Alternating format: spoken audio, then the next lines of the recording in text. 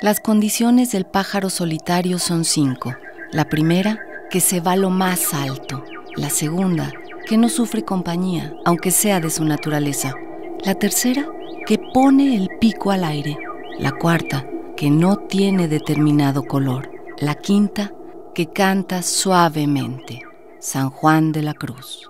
Yo interpreto lo que veo con mi sensibilidad y con todas las influencias que traigo atrás. Hay cosas que se van sedando, tú no te das cuenta a la hora de, que estás tomando la fotografía e estás interpretando la realidad. No estoy tratando de decirle, esto es la verdad.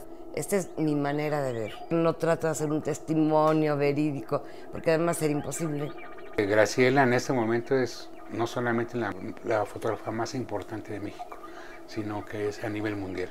Yo creo que es la más importante del mundo y no es gratuito, pues ella tiene un esfuerzo enorme de décadas de trabajo, con una gran presencia, un, alto nivel estético en su material y sobre todo sus fotos son con un contenido que, te mueven. Los hijos de Graciela y yo tuvimos como la suerte de, tener madres que se desarrollaron en, en, la década de los 60, en donde hubo un despertar, digamos, como de otro tipo de conciencia. Claramente siempre tuvo una, poesía muy especial en, su vida cotidiana. Creo que hay otro estrado que le abre las puertas para, para indagar en su propia obra fotográfica. Yo vivía en Coyoacán, no sé si yo le mandé recado, no, me acuerdo muy bien, el caso es que llegó a la casa. Entonces yo le propuse un reportaje sobre lo que estaba pasando en Juchitán. Después de, un tiempo con Pablo Ortiz Monasterio se, se vieron las fotos, él armó el libro, y Elena pues escribió el texto. Las fotos que recuerdo de ese libro, pues están las fotos de, mi tía Lupe, la panadera, que, Graciela pues la quería mucho. Me impresiona muchísimo su cercanía con la gente, lo cariñosa que es con todos, el hecho de que también ellos se retribuyan su cariño, las mujeres la quieren muchísimo en Uchitán y es una visitante de Oaxaca pues casi anual. Y es impresionante ver la capacidad de cómo Graciela tiene eh, la posibilidad de reinventarse y de generar como nuevos discursos fotográficos desde otra perspectiva, ¿no? a pesar de que sea el mismo tema. El hecho de que persista en la fotografía análoga de tener físicamente un negativo tiene una importancia enorme, porque todo eso es parte de la memoria visual, la memoria visual de un país y al hacerlo ella es consciente de que esa memoria visual pues va a llegar a otras generaciones porque existe el negativo.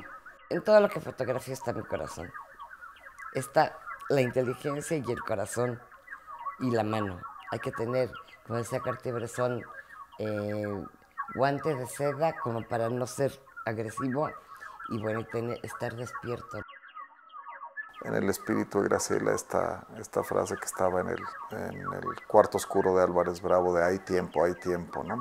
Graciela dispara con, con sutileza y con tiempo. Nacho López decía que la vida de un fotógrafo estaba dividido en miles de fracciones de segundo. Cada fracción de segundo corresponde a un disparo de la cámara, pero también corresponde a una experiencia, a un momento único que va formando un fotógrafo. A partir de ese libro, pues nos unió una amistad. Y después hicimos un viaje juntos a, Guanajuato. Yo estaba formando una colección de gráfica. Entonces, no sé si en ese momento también fuimos a ver las, a la Lóndiga de Granadita, las fotos de Romualdo, un fotógrafo maravilloso de estudio. Bueno, hemos estado muy cerca exposiciones de su obra en casa, se hizo una gran, gran exposición, es una gran retrospectiva. Y pues no sé qué más puedo decir de ella. Y no, no ha sido difícil ser fotógrafo. Para mí ha sido muy, muy fácil. Como es para mí tan apasionante estar sacando fotografías, eh, conocer el mundo a través de mi cámara. Entonces ha sido realmente maravilloso.